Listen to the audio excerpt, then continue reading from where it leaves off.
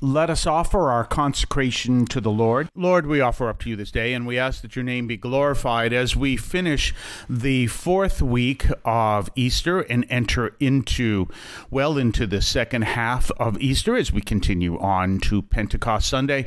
Let us be prepared and continue to prepare for the receiving of the Holy Spirit on Pentecost Sunday, and we ask this through Christ our Lord. Well, as you heard, we are indeed in the fourth week of Easter, terminating it or ending, I guess, better word.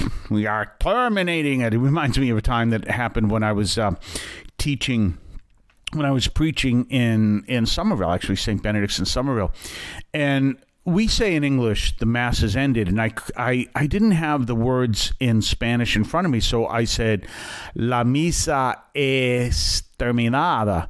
Well, immediately uh, this uh, sacristan woman came out and she says, "No, no, no." In Spanish, she says, "The the mass is never ended," which, by the way, is true. Uh, the mass never ends. It's you go now. You take what you learned at mass. That's what it means, and to go out and bring the message to the gospel. Mass comes from the word, the Latin word meaning to be sent, missare. So uh, she said, "No, no, no, no. The mass never ends." And she said, "The way you're saying it is terminada." uh, sounds like it's exterminated. It's terminated. It is terminated, is what I was saying uh, in Spanish. She says "es terminada." She says it sounds like it's exterminated. So don't use those words. So I won't. So anyway, we are looking at what's going on here, and we're continuing uh, now that we have reached the end of this week, we're continuing with the talk that St. Paul started yesterday. And he's speaking in Antioch to the people at the time. And of course, this does be- begin with a battle with the other members the people who are resisting to this teaching, but that's tomorrow and we're not on the air tomorrow. But we're talking about notice what he's doing. If you go back to the reading, which you're checking out in your favorite daily missal, if you want, um, you're going back and you're seeing how he's bringing the continuity from what the people understand of the Hebrew scriptures.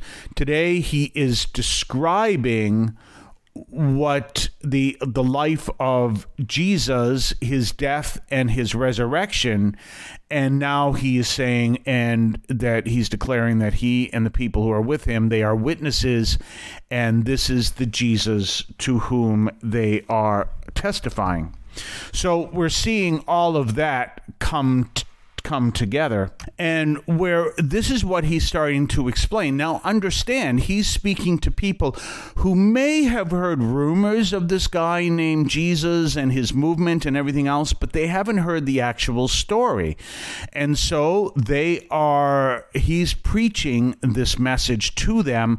Obviously there's going to be resistance. That's part of tomorrow's reading but he's beginning to let people know that this Jesus is real and he's beginning to begin this message to the people, to the Jews, that in fact this evolution that we see throughout the history of the Jews is now continuing. Now, understand that this evolution continues today, and that is well, what, what is the whole message of the Bible? That there will come a point that the uh, the world will good way to put it. I mean, we can talk about, uh, you know, the, the, the end of the world in terms of a fiery destruction or something like that. But if you look really careful of what is happening, it's actually that the systems of the world collapse on themselves and that's when Jesus appears because those systems collapse on themselves. And you can see that with the idea of the even the four horses of the apocalypse. What are you seeing? You see famine, you see in war, you see in death. Uh, all of these things are remnant or symptoms of the world systems collapsing on themselves.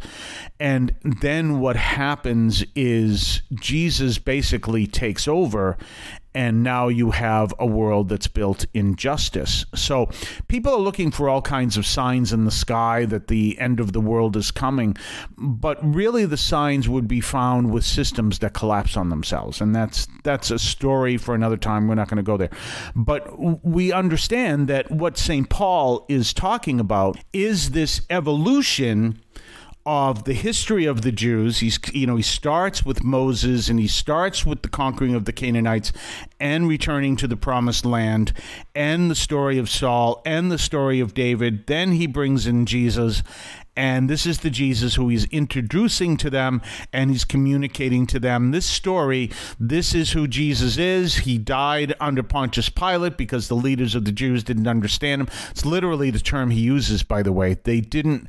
Um, it's the term they failed to recognize him. So it's not, notice what he says the inhabitants of Jerusalem and their leaders failed to recognize him, is the words he's using. And what does that mean? That they didn't understand the signs, but do look, there isn't a uh, what's the word? There isn't an antagonism there. It's not that they they decided that they wanted nothing to do with Jesus. Or, no, they failed to recognizing him, and they at that point, you know, he doesn't give them any kind of a antagonistic or a hostility against God. He just basically says they fail to recognize him. And that's an important distinction we got to realize. We're going to talk more on the other side of the break. You're listening to St. Anthony overnight from St. Anthony Parish in Allston, Massachusetts, right here on WEZE. We'll be right back. Right after this from St. Anthony Parish in Allston, Massachusetts. You can now leave a message for us, which we can air and discuss on this program. Just call 617 297 7452. That's 617 297 7452.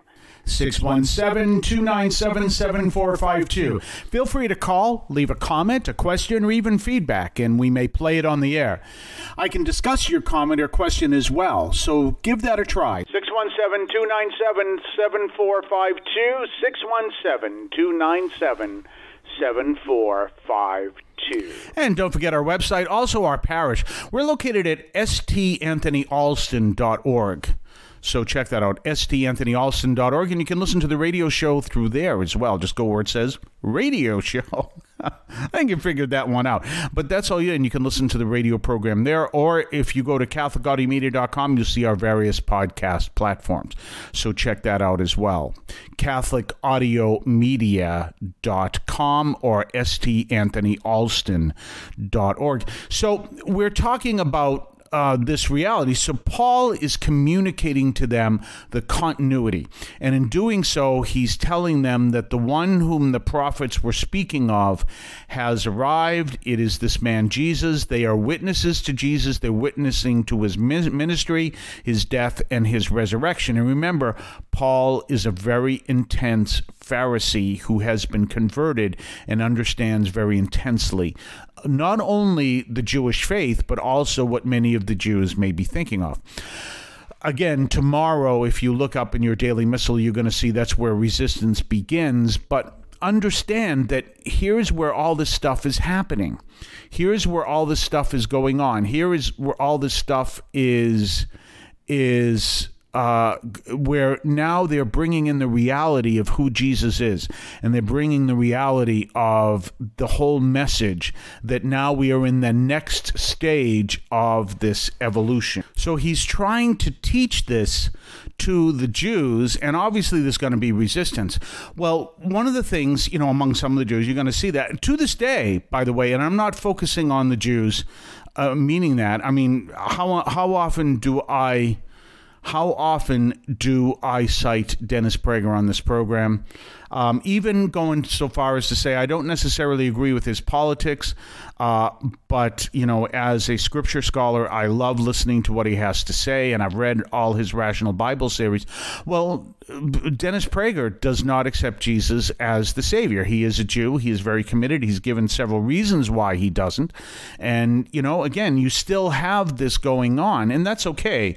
Uh, you know, that's that's important for us to understand that, and also even see that we can see that whole thing going on because you realize that when Paul is speaking to the Jews at the time, he is leading them to make a very serious decision, and they're not going to do it uh, just willy nilly, and at the same time, uh, there are those that will resist it and say, "No, these these aren't who they say they are, or whatever," and they're going to be in resistance, just like they did with Jesus. That's going to happen, um, but we understand that what Paul is talking about is that now we have to realize that this evolution that I use, again, remember, for those of you who don't believe in the word evolution, the word you don't believe in is biological evolution, but it's pretty obvious that there are other forms of evolution, and that's that's true.